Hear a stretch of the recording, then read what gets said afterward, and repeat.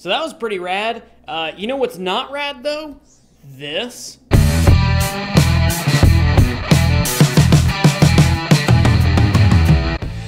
Ahoy, salty dogs! Welcome back to StarMade on the Star Squadron server. I'm your Captain Lenscap, and uh, today we are mining a little bit, but we're going to get to a project as well.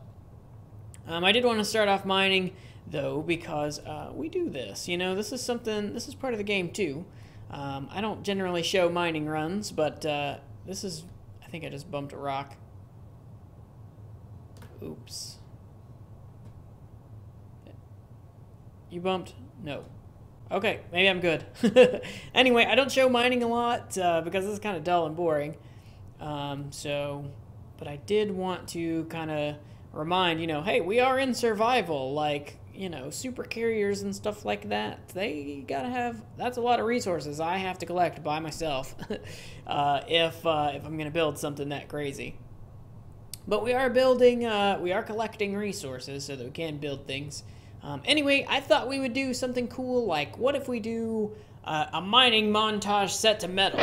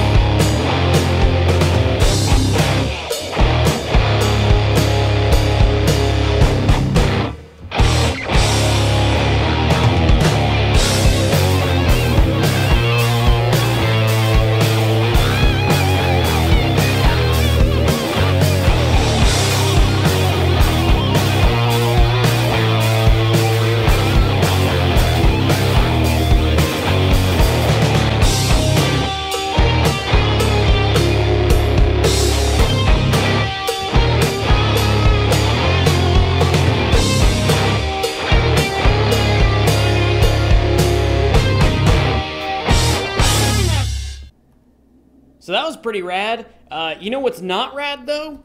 This. We have officially overgrown the salty shipyard. We are too large to live here anymore. Uh, which is great. That's fantastic. I've been waiting for this for a long time. This, um, this station, uh, this is my this is my current space station where I live. Um, this uh, this station though was not built as a permanent home. It was not supposed to be a permanent thing. This is like uh, like the starter base you have in Minecraft, for example. Um, it is your first, you know, get your get your feet off the ground, uh, collect some resources, um, start a big project, you know, kind of thing, just to kind of uh, initiate phase one of building an empire. um, I just noticed uh, on the Lancer, it looks like they have like rotated the jump drive inhibitors. These used to be vertical instead of horizontal like this. Um, so that's kind of weird. Or they used to be horizontal instead of vertical. I guess it depends on how you look at it. So, I mean, let's hop in this build block and float around for a minute. So this is the Salty Shipyard, and uh, we soon will be leaving uh, this place. Um, we may finish it. Uh, we still need to put something in this area, and then it'll be complete, actually.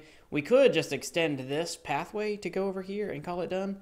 Um, that would work too, but there's this little bit of scaffolding left for potentially spots.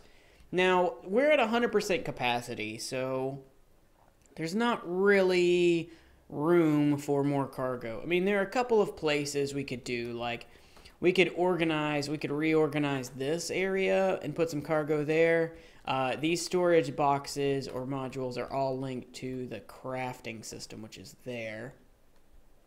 So we could reorganize that and get some more storage out of uh, out of the station. We could maybe instead of putting uh, a berth or a mess uh, or something like that here, uh, we could put storage there since we do kind of have berth over here. Um, so that would work. Uh, but again, like this was starter station. This was not permanent living place. So I'm thinking, uh, I'm thinking we move on and, and we go somewhere else. Now I don't have any plans for this at all. I have no idea what we want to do, where we want to go, how we want to go about it. Uh, I'm not prepared in, in, any sense uh, for this kind of situation. Um, but I, I do feel like the Salty Shipyard has definitely fulfilled its role um, in our series. Now, that doesn't mean we're never coming back. Uh, looks like I missed a pod. That doesn't mean we're never coming back. This shipyard is still a work in progress. You know, we still have projects to do here and we still will always, always, always need shipping containers.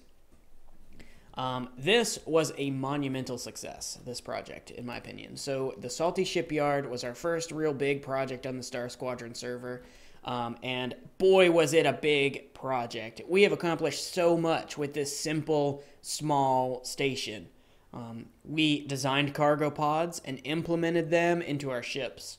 Um, not only did we implement these cargo pods, but everyone else on the Star Squadron server, uh, without exception, well, maybe with one or two exceptions, has taken our design and expanded upon it to make their own um, so that all of our transportation of cargo and goods is universal across the entire server. We did that. We started it. That was us. And not only Star Squadron, but I have seen across the StarMade community other people use my cargo pods and my dimensions and use them, incorporate them into their builds. This is a StarMade thing, not just a Star Squad thing, not even just a Lenscap thing. This has become so huge in the community, and it's all because of this space station. Uh, and that's awesome. Now, other people have done it better. Um, other people have made better pods. Wow, Sven the Slayer's cargo pods I'm like at awe at these things and how much of a masterpiece they are. Um, they are the most amazing cargo pods I've ever seen. They have like like capacity indicators and they have all these amazing neat features. We're bare bones with our pods, but that's okay because we're working with prototypes still. Like these were the first idea and so it's it kind of works like this in, in in the real world too. If you look at uh, if you look at the way the internet is uh, around the world, um, America has really crappy internet, but that's because we were the first ones to have it. So um, we have the rudimentary, you know, get it done, get it down, let's do it. And then everybody else was like, hey, that's a cool idea, let's expand upon it. Um, and so they made bigger and better and faster, and, and uh, we're still kind of stuck in the dark ages. So um, it's time, though, it's time for us to improve our infrastructure and, uh, and to create more uh, more content and better um, better stations and, and better things for us to do. Um, we're we're working on this fleet, and um, we're going to continue working on this fleet, but we need a place to berth. We got to have a place to dock. I'm thinking our next move is going to be to finish the hub pub. Uh, I'm thinking that's what we might do next. Finish the hub pub, and we can move our goods uh, to there and sell them to the rest of the Star Squad. Um, that'll help clear out the space here at the Salty Shipyard. And it'll also give us some starting capital uh, for when we decide to build our next station. Um, now, the Hub Pub, here's my thing about the Hub Pub. I've started over on it twice. I'm thinking about starting over on it again. I'm just not happy with, with the design, with the direction of it. Um, you know what? Let's quickly go over there and take a look. All right, fellas, welcome to the Hub Pub. Let me quickly hop into a build block and we can kind of fly around a little bit.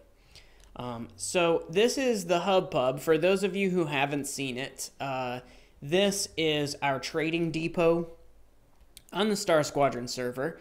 We have a warp hub, uh, we have set the config files for the server so that you can have up to 20 stations in a sector. We've got ridiculously large sectors going on, so it takes forever to get to anywhere.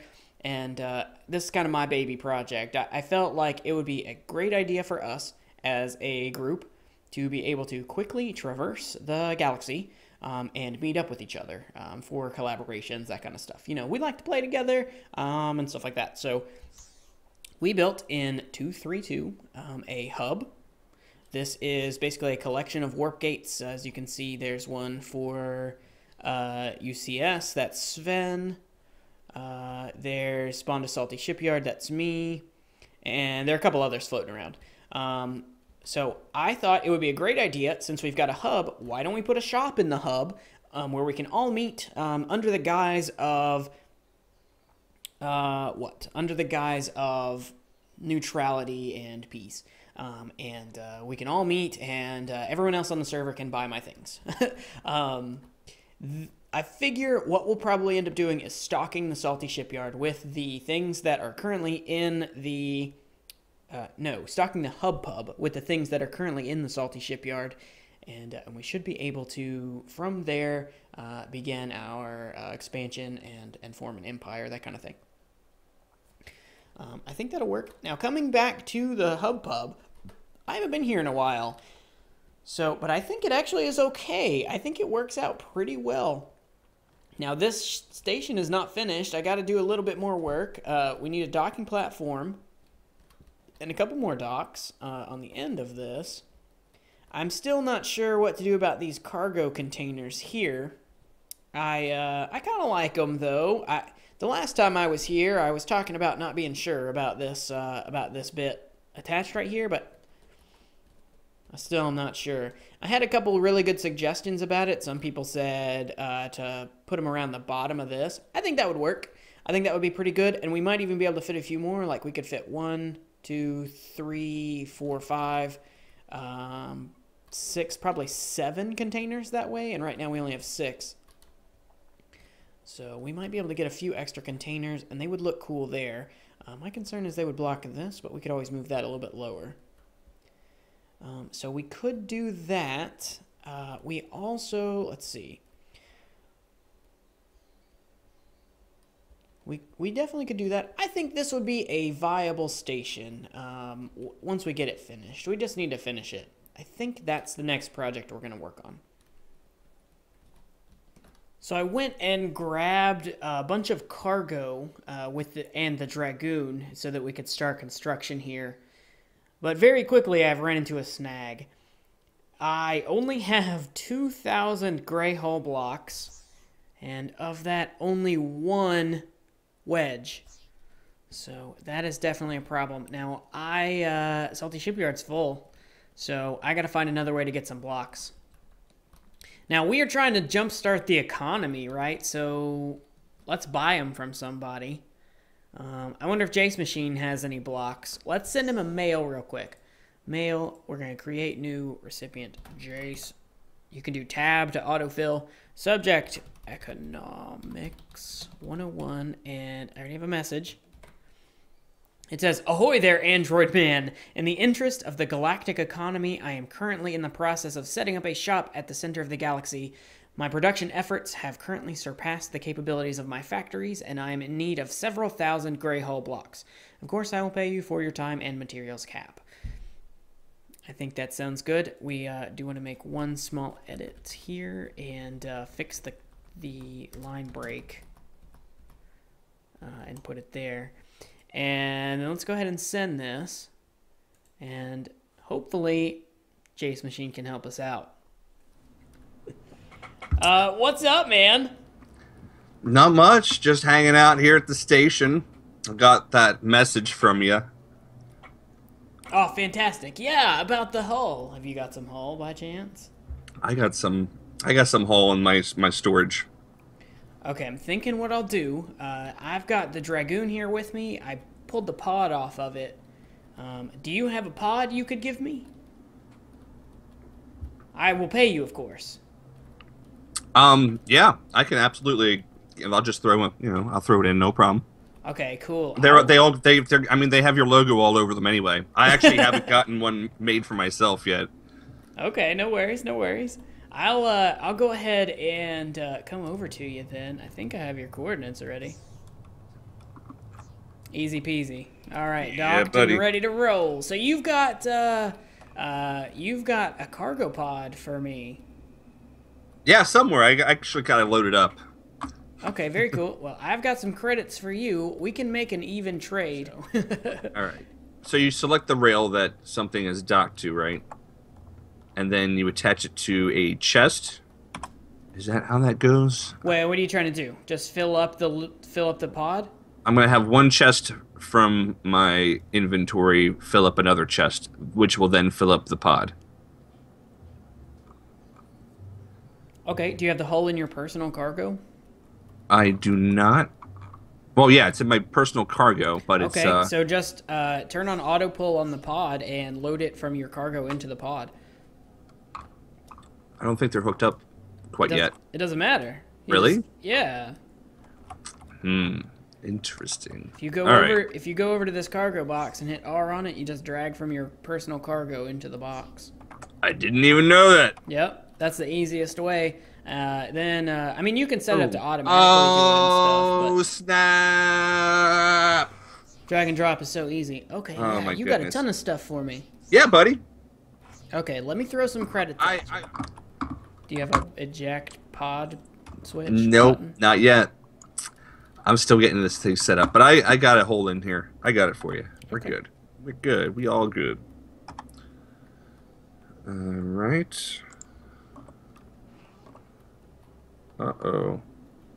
Oh, lag spike, my friend. You shouldn't have done that. You're stuck. That's what she said. All right. This is what we're gonna do. We're gonna roll it out of here. Dude, it's not gonna work. You're sideways. This is ridiculous. no, it's gonna work. It's totally gonna work. This is like the least. this is the worst way you could have possibly taken this out. I'm full of bad ideas, but they're more entertaining. Oh my gosh, I'm just sitting here laughing at you, man. This is ridiculous. It's it's It- gonna work. It's so stuck. It, there's no way. It's not. It's not happening. It's true. I mean, you're making slow and steady progress, I guess, but uh, like you're upside down and halfway sideways and twisted at a weird I'm half angle. blind as well, and I never let that stop me. All right, maybe I will. I'll just drink my coffee. Mm. Man, this is some good coffee. How do you like your coffee? I do. Uh, I do. If I'm like at a restaurant, I do one cream, two sugars. Yeah. But uh, generally, I don't. I don't put a lot of sugar. Uh, but I do like it with cream. Uh, I don't like too much cream though. I'm particular about my coffee. I am too. I like, I like, uh, I like it to taste like coffee. I like to have a good roast flavor to it. Um, but I don't like it to be too sweet, and I don't like it to be too creamy. Ah, there you go. I see you made it to your ship just fine. I have, and I'm coming to retrieve you. Very good. I'm just hanging out on the outside of this. Can you hear the sound of a bass guitar strumming in the background? No. Good. Should I be able to? I really Do you have a bass guitar inside that cargo pod? It's it's it's just the the I get these weird radio waves coming through in my uh my communications, and I don't know if I'm being hacked or if uh or if uh you know I'm just I don't know. It's the problems when you're an Android, you know. Now, if you Android problems. Hashtag Android problems. If you remain still. If I remain still, I'm not I'm not even attached. I'm floating around out here. Oh, okay. Okay. So- I- I'm gonna try and grab this cargo pod. I've never actually done this before, so I don't know if it's gonna work. It'll be a wonderful spectacle, and I'd love to watch it. To rotate like this. I don't know if I can pick up that pod actually because it's faction to you. Is it? Let me uh, go inside and do something about that faction module. Module. Oops. Mhm. Uh, uh, there is no faction module on There- this. That's right. But if you spawned it in from a from a from a shipyard, it would have automatically assigned Hmm. your faction. All right. Let me see what I got here. Faction module. I'll put it on there and then unlock it.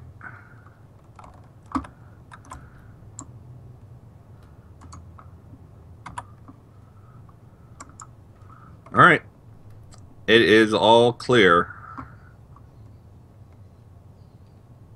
Oh, it's so close.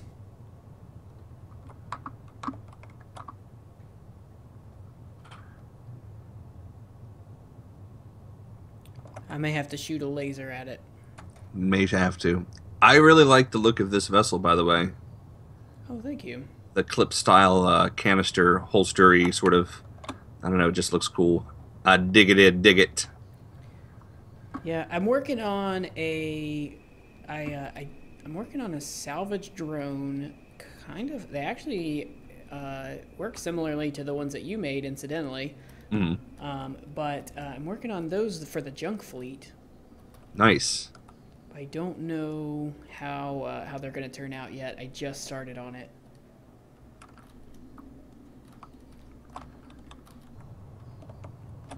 Okay, let's do this. Get a line to your vessel here. There we go. Get a better view. Oh, let's see. I need to do. This is gonna be tough. Okay, now this should. There we go. Magnificent. Isn't she magnificent? Permission to come aboard. Ah, granted. Thank you. I like it. This is a pretty cool uh, cockpit. I like the the openness of it. Having open cockpits is is the way to go, man. After the Stanford and these new uh, the new ships that I've been playing with, uh, it's it's the only way to go, in my opinion. Dude, have you seen the cockpit in my newest ship? Uh, no. You got a minute? You want to come back to the salty shipyard with me? Why, sure. Have a seat somewhere, and we will traverse the galaxy together. Siente, por favor. Uh, this Now, is the part where I you stab me and leave me for dead. Oh man, I mean you're in my space now. You got no way to get home. You you got no way to get home. so we got that. Here's the bridge. This is what I was excited to show you. Ooh. Interesting. I forgot we could smush those things. Isn't that a cool display thing? It is really cool. These are ladders, where the where the hazard striping is. Okay. Yes. Yes. So you can f- jump. You can jump, but you can float up here. And then you've got two more stations. You know, one right here and one over there where you are. Heck yeah. So you've got this. This is a crew of three people. Now, if this were a real spaceship, it would be like a crew of six people, and it takes three to run the ship. Uh, but you know, Yeah.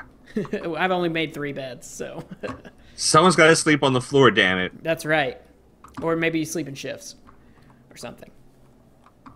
This is Um, a, this is an interesting. Look at it goes like, oh, it's in this sector over here. Yeah, exactly, like a map, Mm-hmm.